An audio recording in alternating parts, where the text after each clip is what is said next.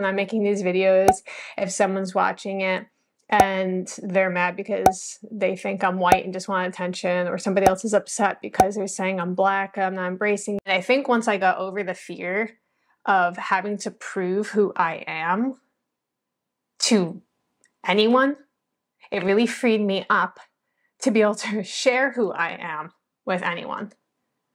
Hi, my name is Danielle Romero, and I'm the filmmaker from the docu-series Finding Lola.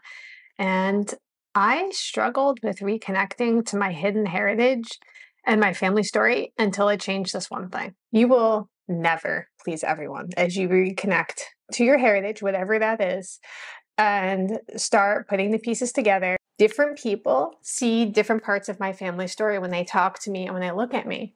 And that's awesome. Like, I love that people can see these different shades of my heritage. That's really cool. But just because someone's seeing one side of you doesn't mean that you have to ignore the other side of yourself either. This will keep you from being able to connect to your heritage and your family story every single time. There's something like really fascinating to me about transformation stories. Like, where you have a character where they start here and they go through a metamorphosis and they come out changed on the other side. I thought that's what was happening to me. I thought I was starting here and I was going through this process of uncovering my hidden heritage, uncovering who my family was, uncovering my family story, and then I would be here. But the truth of the matter is that that identity was with me all along. That's always been who I am some of us have the gift of being raised kind of with a beautiful blending of those cultures and having a good understanding of like who you are on both sides of your family and where you come from. But then there's some of us like my family where that didn't happen. And so there's a little bit of like imposter syndrome, I think, when you are starting the process of uncovering this stuff. And then like, at least for me, like I'm excited and I want to embrace it. I want to do something with it, but I also don't want to be a phony. Well, it's like, how can you be a phony? It's your family. But it just feels like that. If it's who you are and it's who your family was, like, why is it such a struggle? It's this idea that you can only be one thing.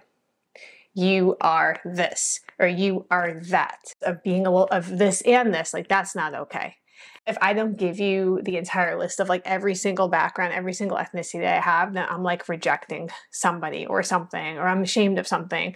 And it's just, it's just not the case.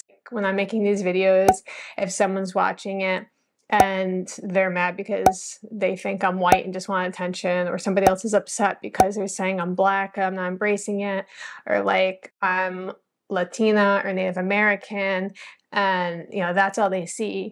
Like the truth is um, all of those things. And you can see where the problem is here. People are going to see different parts of you, and different parts of you are going to resonate with them. But you will never find a way to identify that's going to please everyone.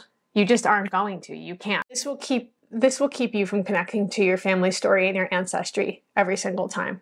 And I think that's like the exact opposite of what we should be doing is letting fears about other people's opinions about us keep us from doing the work on our family story or doing our genealogy. Who cares what they think? Who cares what they say? Depending on how the DNA shakes out, you may favor this family over that family. That's okay.